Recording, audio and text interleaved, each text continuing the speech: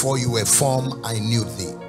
Before thou camest out of thy mother's womb, I sanctify thee, and I ordain thee a prophet unto the nation.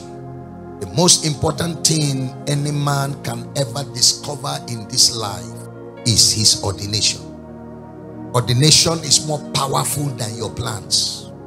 Ordination precedes plans. Ordination simply means original intent. Ordination also means purpose for existence. You are not born to make a living, you are born to make the difference. Ordination exists before the product. Ordination is the end before the beginning. You were not created to find ordination. You were born because of ordination. God can allow problem to exist in your life as long as your problem did not temper with your ordination. Joseph must be sold to a foreign country because his ordination is not within his environment. So envy was part of the transportation system that must transport Joseph into the place where he will fulfill his ordination. Isaiah 46, verse 9 to 10, he said, Remember the former things of old, for I am God and there is none beside me. There's none else. I am God and there is none like me.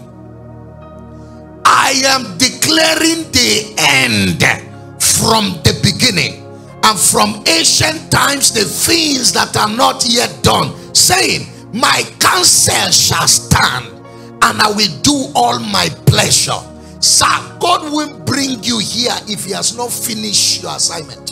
When God finishes with you in eternity, He brings you to start the start. And uh, in the process of movement towards your destination, you may experience the ups and downs, but that, that doesn't move God because God is the author and the finisher. So He understands that you will reach. Oh you will arrive. You will get to your destination. God will never bring you here if you are not needed. Every child of god has an ordination.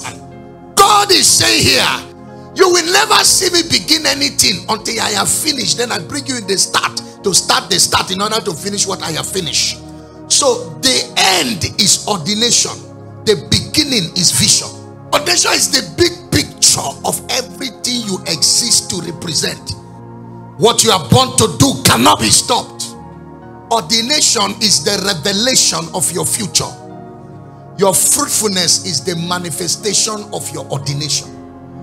Fruitfulness is the effort that is accompanied by evidence. Any man who understands his ordination has no choice than to be fruitful. Hear this ordination is the foundation of all fruitfulness. If you want to be fruitful, locate your ordination. Jesus said, For this reason was I born, for this purpose came I into the world. To be fruitful means you must become a servant of your ordination. God never tells you to be sinful, He told you to be fruitful. It means that he has already put the seed that will make the fruit.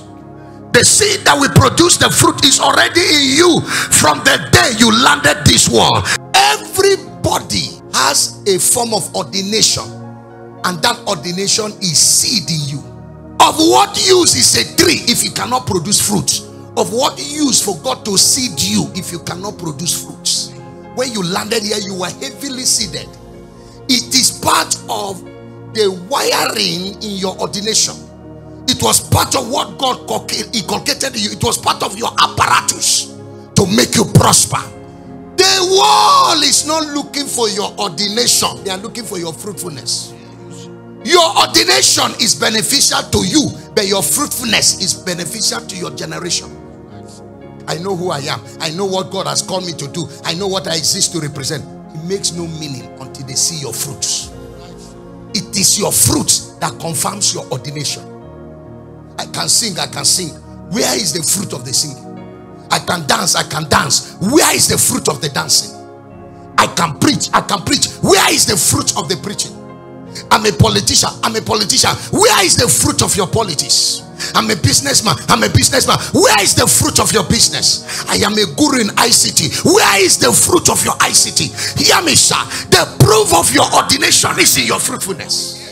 Your world don't want to see your seed, they want to see your fruit. Fruit is the evidence that you have ordination. Fruit is an evidence that God didn't waste time for creating you. So ordination is trapped in every mortal man that walks on the face of the earth. But that ordination needs to be released through the portals of fruitfulness. The lack of fruit is lack of root in God.